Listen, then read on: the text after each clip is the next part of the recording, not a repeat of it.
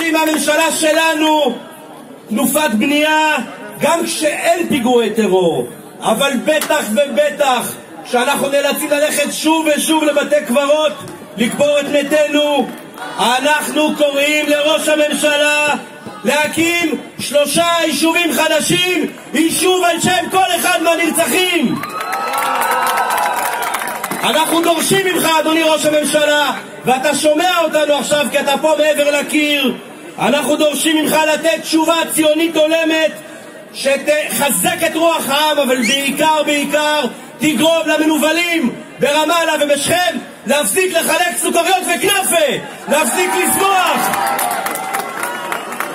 אדוני ראש הממשלה, אנחנו הגענו לכאן בהמוננו לשביתה, להשבתת אזהרה ואני אומר לך בשם כולנו שאם אנחנו לא נקבל תשובות אמיתיות, רציניות תשובות שיראו לכל עם ישראל ולאויבי ישראל שמדינת ישראל נחושה ומתחזקת אל מול הטרור הזה.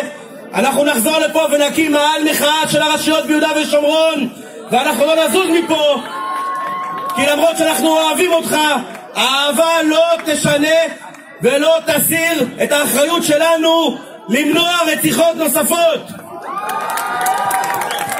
אדוני ראש הממשלה, חברינו שרי הממשלה, אנחנו הגענו לכאן בכאב כי אנחנו רוצים תשובות ואנחנו מתחננים בפניכם אל תגרמו לנו לחזור לכאן לשביתת שבט. אבל אם צריך, אנחנו נעשה את זה כי דם יהודי לא יהיה יותר הפקר